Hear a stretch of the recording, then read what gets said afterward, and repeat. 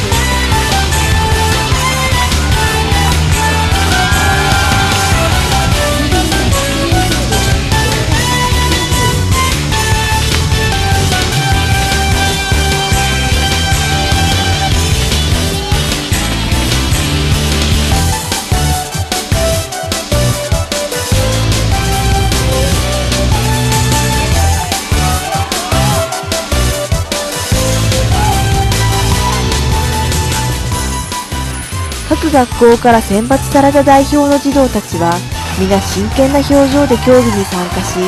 最後の学校対抗の 400m リレーなども大いに盛り上がりました。